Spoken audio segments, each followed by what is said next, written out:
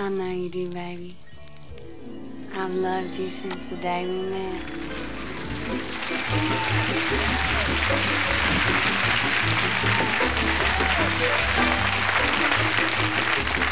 Hi, Dad. How was work? What work?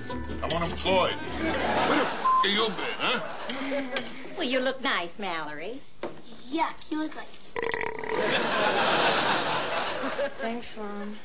Well, I'm gonna go now. I'll be back at midnight, okay? What are you wearing, a broomstick and a trash bag? Why don't you put some meat on you, huh? A few pounds lighter, you'll be Miss Ethiopia. Where the hell do you think you're going, huh?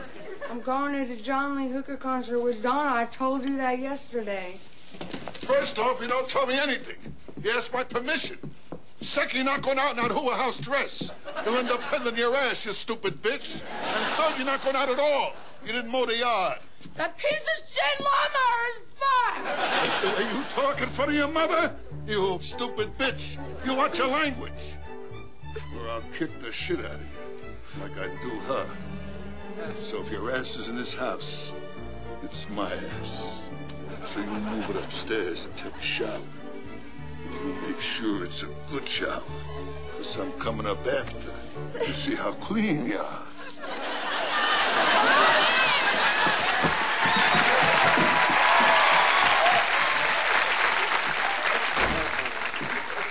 Think you were a little hard on her, Ed? I'll show a little tenderness after I eat. When I get up there, she won't see my face for an hour. Darling, I think you should speak nicely in front of Kevin. Don't think. You're a fucking idiot. What am I, a bad guy? Did I ever ask you to f my friends? Huh? And don't tell me what to do. If it wasn't for me, you'd still be slinging hash in that shithouse and fucking your boss. Oh, that must be Donna. I'll tell her the bad news. Uh, don't let your macaroni get cold, Ed.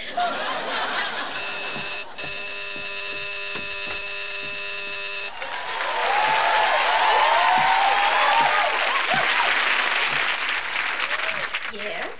Livery for Ed Wilson. What on earth is it? It's beef, lady. 50 pounds of beef. Oh, you wait right here. I have to have a word with my husband.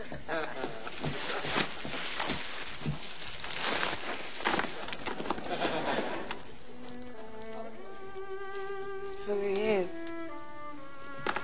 Mickey, who you? I'm Mallory. You ought to change your name to Beautiful.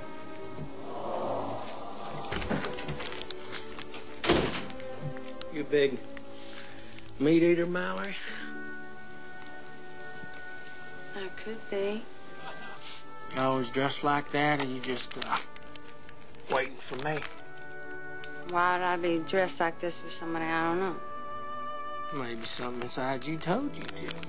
You know, like fate. You believe in fate, Mallory? Maybe. Well, too happy. Wanna go for a ride? and Talk about it?